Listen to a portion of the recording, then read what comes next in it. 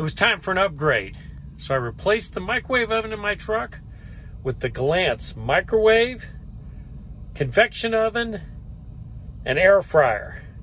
Let's talk about it coming up.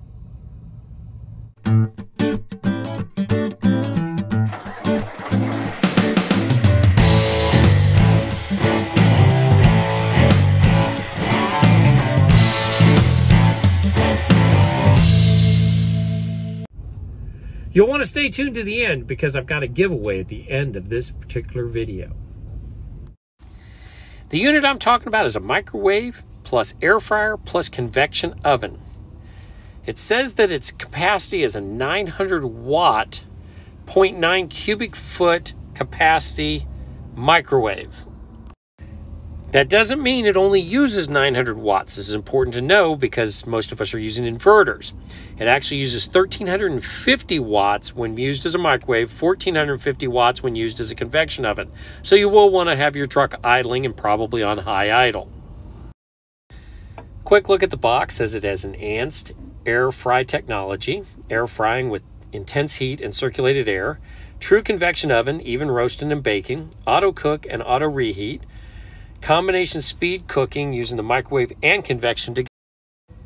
It comes with some accessories an air fry kit, a baking and roasting pan, and a glass turntable like all microwaves have. And there's some nice pictures of what you can cook in the microwave slash air fryer slash convection oven. It fits perfectly in the spot where the microwave oven would go in our trucks, the Kenworth T680. As an air fryer, I decided to test it out using Ore-Ida Extra Crispy Fast Food French Fries. Set the things in there, pressed the function key. They actually have a function key set for French fries. And it came out looking excellent and tasting awesome. Remember, no oil was used when I made these. To test it as a microwave oven, I did some pizza rolls. I put some pizza rolls in there on a paper towel on the glass tray and I set them to cook, and they cooked just like the microwave that was in the truck before cooked. Perfectly ready to eat.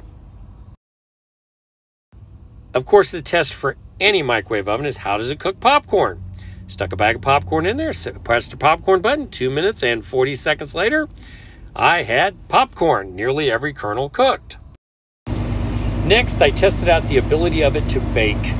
I put a piece of chicken in, boneless, skinless chicken, and I baked the skinless, boneless, skinless chicken with a little butter on top and some seasoning, and this is how it came out. It was fantastic.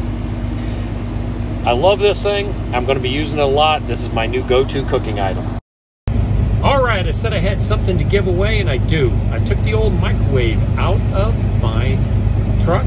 That microwave was used for a few months. It's in clean and good condition. Whoever walks up to me at a terminal, at a truck stop, and says, Hey, I saw your video and I'd like to have your microwave, gets the microwave. It's that simple.